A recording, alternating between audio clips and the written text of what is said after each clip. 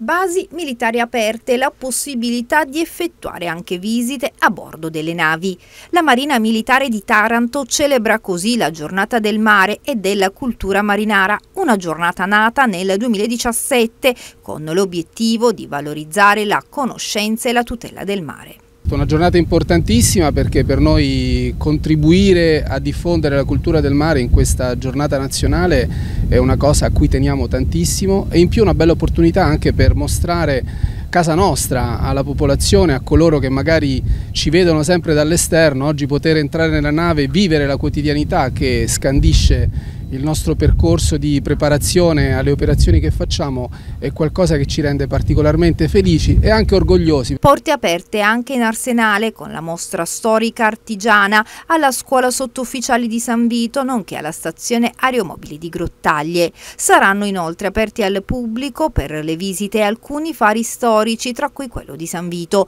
Non poteva mancare a questo elenco il castello aragonese di Taranto che sarà visitabile nel corso di tutta l'intera giornata giornata. Con le iniziative messe in atto a Taranto per la giornata del mare, la Marina Militare intende rivolgersi a tutta la cittadinanza e promuovere l'importanza del mare come risorsa imprescindibile contribuiamo a generare sicurezza nel Mediterraneo in questo frangente particolarmente delicato e lo facciamo in collaborazione con i partner alleati, con le marine più importanti al mondo, gli americani, i francesi, eh, gli spagnoli e gli inglesi, che hanno anch'essi dei gruppi portaerei con i quali collaboriamo in modo sempre più stretto.